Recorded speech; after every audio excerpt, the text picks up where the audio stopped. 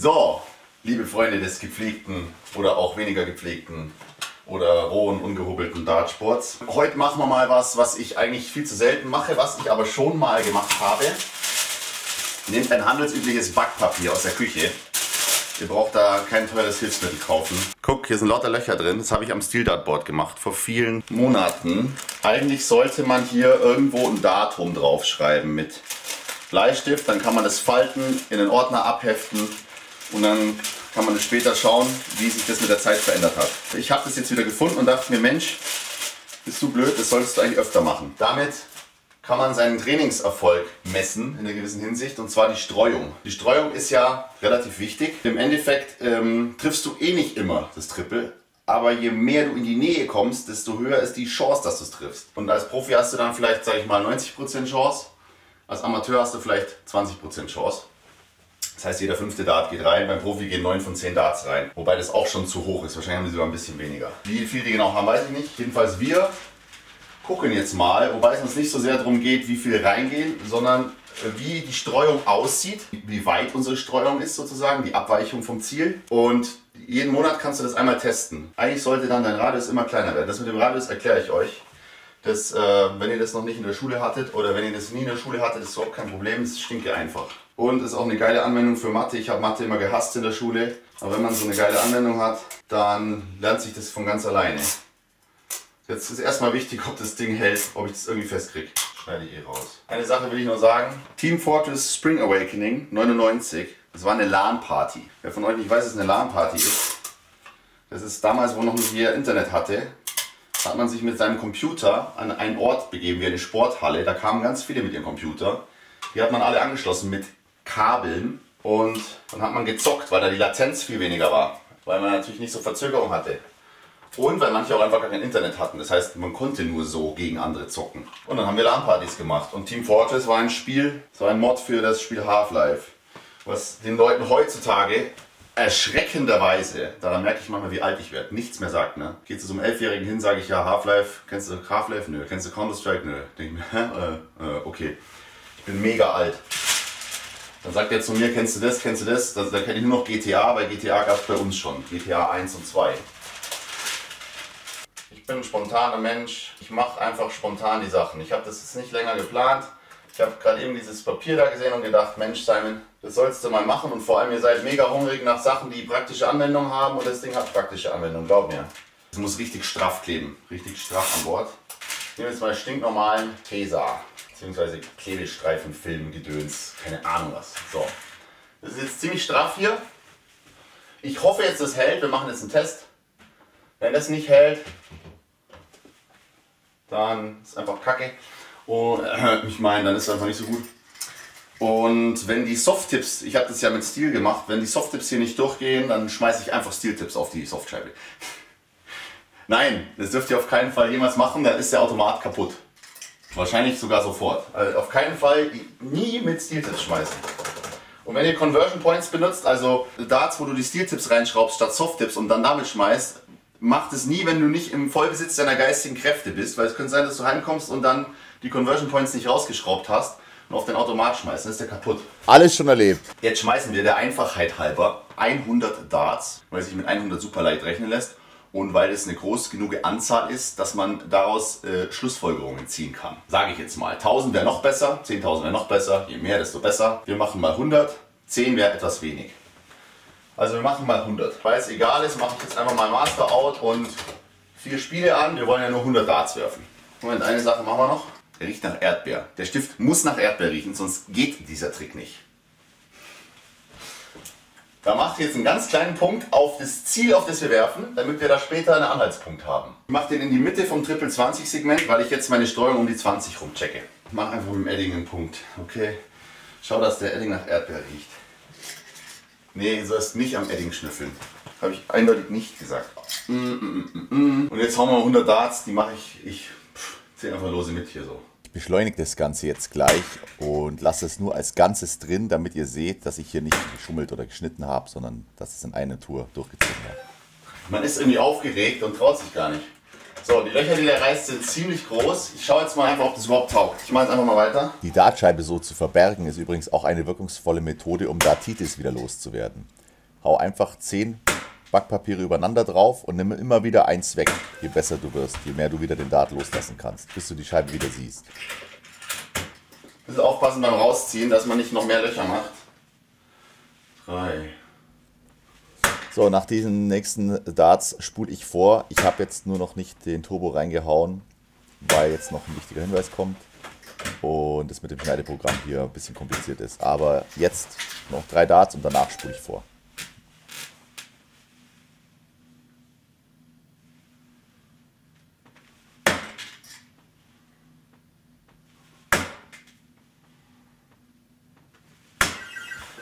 Wenn du das gleiche Loch nochmal triffst, das ist überhaupt nicht schlimm.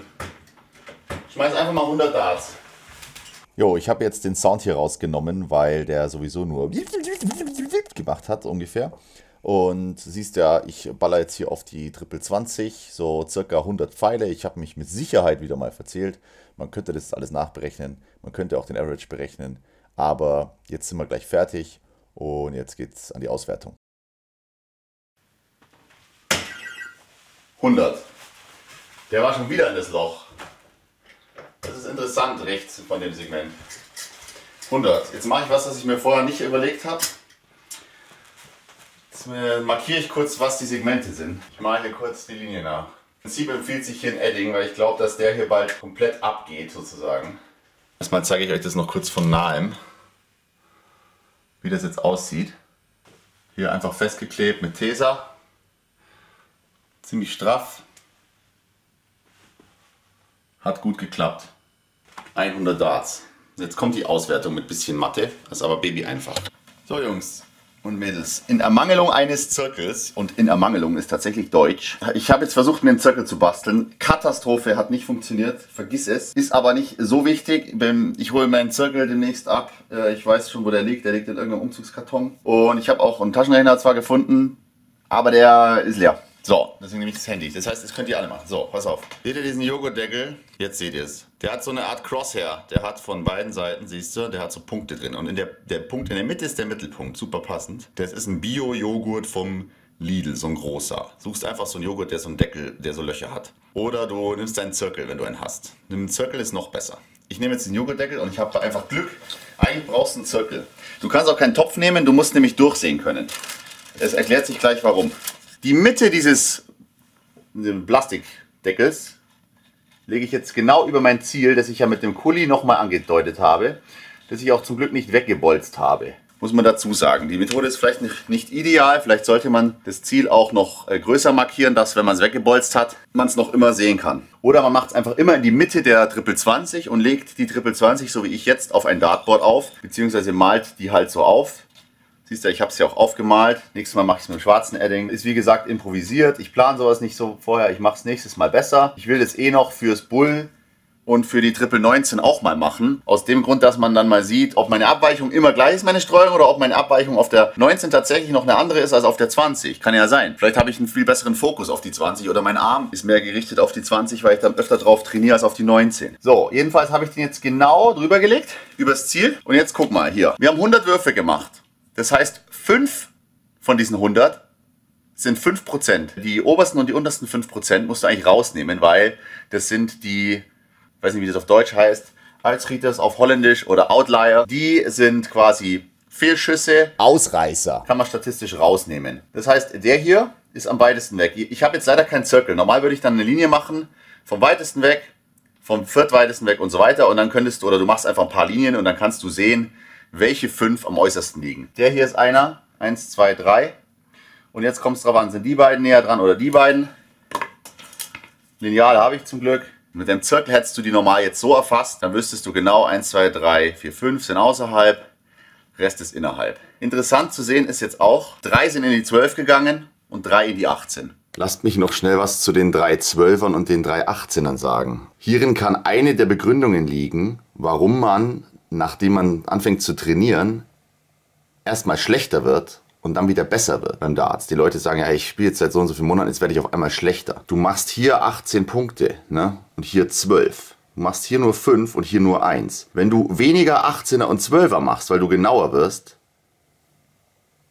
machst du weniger Punkte. Du triffst zwar auch manchmal mehr 20er, aber diese, die, diese 17er Differenz und diese Sünder-Differenz, die tun richtig weh. Prinzipiell wird man sowieso erstmal schlechter, wenn man anfängt auf die Triple 20 zu zielen, weil man ungefähr im Durchschnitt, wenn man irgendwo aufs Dartboard wirft, also irgendwie, macht man so ungefähr 39 Punkte. 38,7. Das heißt, 39, irgendwas musst du erstmal machen. Ne? Aber wenn du jetzt die 20, wenn du dich immer mehr annäherst und du schmeißt eine 26, schmeißt du unter Durchschnitt sozusagen. Ja? Wenn du eine 18, eine 12 und eine 20 schmeißt, schmeißt du 50 Punkte, schmeißt du über Durchschnitt. 20, 1 und 18 sind 39, das ist ungefähr der Durchschnitt, wenn du das schmeißt. Also man bewegt sich hier, man wird erstmal unterdurchschnittlich sozusagen, bis man zwei 20er trifft sicher. Dann hat man 40 Punkte plus noch ein Pfeil, dann bist du über Durchschnitt. Dann geht's erst los. Es geht erst los richtig mit deiner Dart-Karriere, wenn du zwei 20er ziemlich sicher triffst. Und wenn du dann anfängst noch die Triple 20 zu treffen und immer konstanter wirst hier in der Mitte, dann wirst du natürlich immer besser. So, jetzt haben wir gesagt, der hier ist am weitesten weg und zählt noch zu den 95 Prozent, die wir wollen. Wir messen das ab 5,6 Zentimeter ist der Radius von meinem Trefferbild, der maximale Radius. Jetzt müsste man die inneren 5 natürlich auch abziehen. Die sind aber alle eh innerhalb vom Radius, also das passt schon. So, und damit kommen wir zum spaßigen Teil, Mathematik habe ich geliebt in der Schule. Nein, habe ich fürchterlich gehasst. Und warum? Weil meistens man überhaupt keinen Bezug dazu hatte, weil die Beispiele so weltfremd waren. Ja? Stattdessen hätte man sagen können, der YouTuber Dartsgondel möchte seine Streuung mit der Streuung vom YouTuber Marcel Scorpion vergleichen. Und Beide werfen ein Trefferbild. Dartsgondel hat einen Radius von 5,2 bei einer 5%igen Korrektur der Abweichung und Master Scorpion hat ein Trefferbild von bei einer bla bla bla. So, dann Aufgabe A, berechnen Sie die Oberfläche des Trefferbildes von Dartsgondel. Aufgabe B, berechnen Sie die Oberfläche des Trefferbildes von Master Scorpion. Das wäre doch mal eine Aufgabe, wo du denkst, hey, erstens möchte ich es wissen. Zweitens, geil, ich kann das berechnen, das finde ich geil. Äh, drittens, das mache ich jetzt einfach mal, weil ich habe da Bock drauf. So einfach holt man das in die echte Welt, aber der, der Gymnasiast muss ja abstrahieren können. Ne? Der darf ja auf keinen Fall eine Anwendung aus dem echten Leben lernen. Auf keinen Fall. Deswegen gibt es ja auch kein Fach Steuererklärung. Das ist zu hilfreich. Egal. Jetzt berechnen wir. Jetzt habt ihr natürlich alle in der Schule aufgepasst und wisst, dass die Kreisfläche, das heißt unser Trefferbild, r Quadrat Pi Ist r Quadrat Pi ist die Kreiszahl Pi. Es ist also bei mir 5,6 im Quadrat mal 3,1415. Weiter weiß ich Pi gerade auch nicht auswendig, aber das reicht, um in meinem komischen Taschenrechner hier 5,6 mal 5,6 zu rechnen und dann mal 3,1415. Das runde ich auf 2, 98,52 Zentimeter Quadrat, weil das sind Zentimeter. 98,52 Quadratzentimeter ist mein Schussfeld, in dem ich treffe. Wenn ich 100 Darts auf die Triple 20 schmeiße. Jetzt ist natürlich die Frage, wie groß ist die Triple 20 überhaupt? Dazu braucht man eigentlich den Radius bis zum Triple. Ich mache das jetzt mal ungefähr 10,8. Das wäre jetzt natürlich gut, wenn man das genau wüsste. Das kann man sicher genau rausfinden. Ja, man kann das genau rausfinden. Und zwar ist es 10,7. Das sieht man an dem Wert Center to Outer Triple Wire, also vom Mittelpunkt zum äußeren Trippelrand, 107. Und Center to Inner Triple Wire ist 99, also 9,9. Ich werde das jetzt dann gleich falsch schätzen, aber es ist für meine Berechnung, ich habe 9,7 abgemessen, aber es geht nur prinzipiell um die Berechnung. Also man müsste das normalerweise mit 10,7 und 9,9 rechnen. 9,7. Das heißt, wir haben mal 10,8 mal 3,1415 ist 366,425.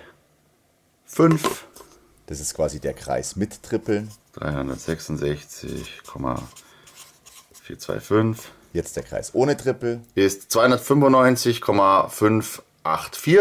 So, und jetzt müssen wir 366,425 Kreis mit Trippel. minus Kreis ohne Trippel. 295,584 rechnen. Übrig bleiben also nur die Trippel. Also das heißt, die äh, Triple 20er, äh, die Triple-Segmente sind 70,8 Quadratzentimeter, also dann teilen wir das durch 20. Dann wissen wir, wie groß ein Trippelsegment ist. Und ein Trippelsegment ist 3,54 Quadratzentimeter. 3,54 Quadratzentimeter. Das ist jetzt falsch, ne? weil ich die falschen Werte genommen habe. Nicht vergessen. Das heißt, die Fläche, die ich idealerweise treffen will, immer, ist nur 3,54 Quadratzentimeter groß. Ich treffe momentan, äh, meine Darts treffen momentan auf einer Fläche ein von 98,52 Quadratzentimetern. Ist noch ein bisschen weit weg, ne? Aber macht nichts. Jetzt kann ich natürlich berechnen, wie hoch die Chance ist, dass ich die Triple 20 treffe bei meinem Radiusgedöns, bei meiner Fläche. Und zwar 3,54 möchte ich treffen, geteilt durch 98,52 treffe ich momentan, ist 0,0359, also mal 100% ist ungefähr 3,6% ist die Chance, dass ich persönlich die Triple 20 treffe momentan. Was, das ist natürlich ziemlich mager, das heißt von 100 Pfeilen treffe ich nur 3,6, also drei oder vier Pfeile in die Triple 20. Ihr müsst mal nachzählen, wie viel ich getroffen habe, das sind nämlich natürlich sind es mehr, die ich treffe weil das ist natürlich ein bisschen eine Schmarrnberechnung. Zwölf habe ich getroffen. Aber es äh, gibt da mal ein bisschen einen Einblick, wie hoch eigentlich die Chance wäre mit dem Trefferbild, wenn ich immer zufällig da reinwerfen würde in diese große Oberfläche, dass ich das Feld treffe. Ich werfe natürlich nicht zufällig rein. Ich versuche natürlich immer die Triple 20 zu treffen. Deswegen ist der Wert etwas höher. Nämlich 12 Prozent. Aber es ist einfach mal eine lustige Spielerei und man sieht einfach mal, wozu Mathe gut ist. Ja, weil so eine Rechenaufgabe hättest du gerne gemacht in der Schule. Und den Käse, den man immer ausrechnen musste, diesen abstrakten, den kannst du natürlich in der, in der, echten Welt gar nicht anwenden. Und jetzt kannst du mal ein bisschen was anwenden, das, das macht auch mal Spaß. Und um euch jetzt zu zeigen, wo das jetzt noch eine Anwendung finden kann, dieses ganze Gerechne, das war mein altes Papier von vor ein paar Monaten. Ich habe hier mal markiert, wo der am weitesten wegliegende Ausreißer Outlier ist minus 5, das ist 6,1 cm. Hier rosa markiert. 6,1. Gleiche Formel wie hier oben, nur hier setzen wir 6,1 ein. 116,89, also 0,9, wenn wir runden. 116,9. 116,9 Quadratzentimeter. Und jetzt kann ich die 98,52. Papi, warum hast du da einen ganz großen Kreis hingemalt? Das erkläre ich dir gleich, Schatz. Geteilt durch 116,9. So, ist 84% sozusagen. Dieser Wert sind 84% hiervon. Ich muss nur noch 1 minus diese 0,84 und komme dann auf 15,72 Prozent. Oder du rechnest so. Ich hatte vorher ein 116,9er Bild und jetzt habe ich ein 98,52er Bild. Also müssen wir 116,9 minus 98,52, 18,38 teilen durch 116,9 ist gleich 0,157, also mal 100 Prozent. Ich bin um 15,72 Prozent besser geworden. Und das ist gar nicht mal schlecht. Streuung hat sich verringert. Das ist gar nicht mal schlecht. Papi, was ist das für eine Zahl, bitteschön? Das hier ist die Oberfläche von meinem Trefferbild. Und ich wollte jetzt eigentlich ausrechnen, wie viel Prozent besser ich wurde. So, jetzt bin ich auf blitzrechner.de gelandet. Äh, Ausgangswert 116,9, Endwert 98,52. Berechnen, um nochmal ganz sicher zu gehen. 15,72 Prozent. Also alles gut. Wenn ich was falsch gemacht habe, gebt mir Bescheid. Nicht, dass ihr alle durch die Matheprüfung fallt wegen mir. Ja. Papa.